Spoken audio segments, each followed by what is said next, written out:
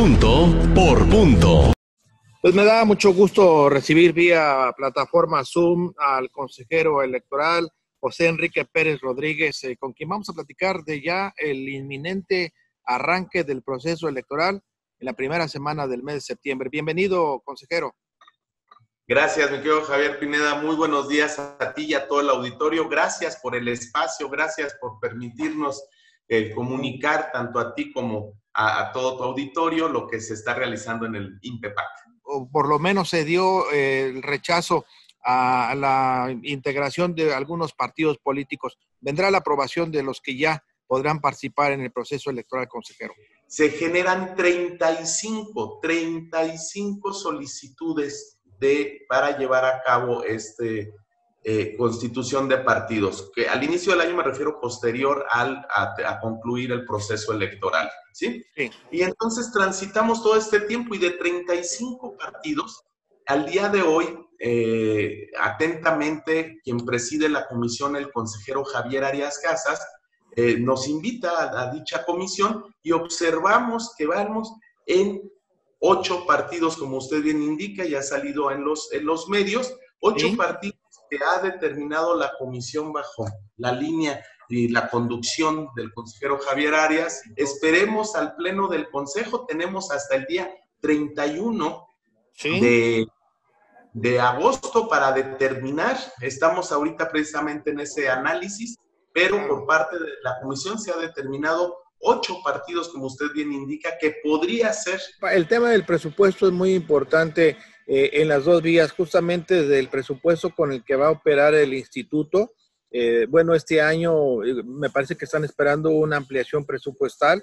¿De cuánto sería? ¿Qué respuesta tienen del gobierno?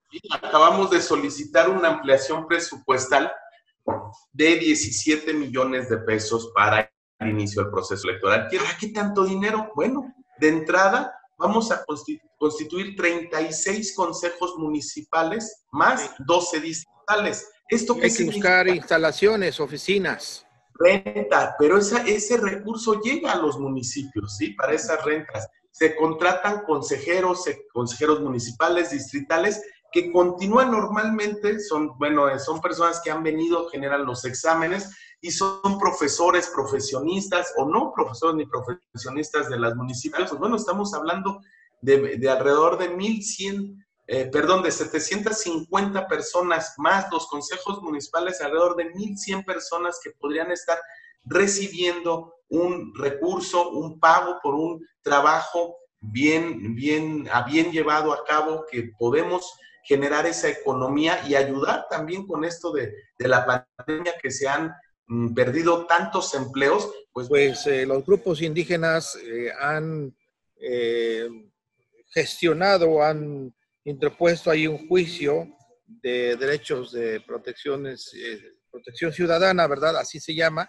JDC, para poder tener participación en ayuntamientos, en diputaciones. Había resuelto el INPEPAC que serían tres eh, municipios y un distrito electoral, pero eh, pues eh, la sala, el tribunal ha resuelto algo más. Efectivamente, el Pleno del Consejo Estatal Electoral había determinamos que se llevara a estas acciones afirmativas para la población indígena en cumplimiento a la resolución 403 de la sala, en, en cumplimiento que se llevará a cabo en los tres municipios, que es Hueyapan, Sosocotla y Coatetelco, se llevará ahí a cabo más el distrito cuarto. Muy bien, mediante estos JDCs y un recurso de reconsideración, de, de, revisión, la sala regional nos dice,